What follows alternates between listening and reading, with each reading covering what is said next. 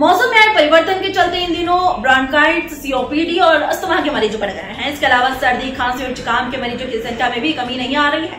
जयारोग चिकित्सालय की ओपीडी में इन दिनों आने वाले मरीजों में ब्रोनकाइटिस और सीओपीडी और अस्थमा के मरीज़ 30 से 35 फ़ीसदी है। इसके अलावा 25 फ़ीसदी मरीज़ खांसी और जुकाम व बुखार के हैं। जीआरएमसी के मेडिसिन विभाग के प्रोफेसर डॉक्टर अजय पाल सिंह ने बताया कि इस मौसम में ठंडी चीज़ों का सेवन नहीं करें। ब्रोनकाइटिस के मरीज़ को एंटीबायोटिक दवाएँ पाँच से सात दिन तक ही दी जाती है। विशेष परिस्थिति में इससे अधिक दिन एंटीबायोटिक देनी पड़ती है। मेडिसिन विभाग के associate professor doctor Pradeep Prajapati ने बताया कि ओपीडी में 25 फ़ीसदी मरीज़ खांसी, जुकाम के बढ़ गए खांसी आमतौर पर पाँच से सात दिन में ठीक हो जाती है, किंतु इस बार लोगों को खांसी ठीक होने में पंद्रह से बीस दिन का समय लग रहा है, इसलिए मास्क लगा कर रखें।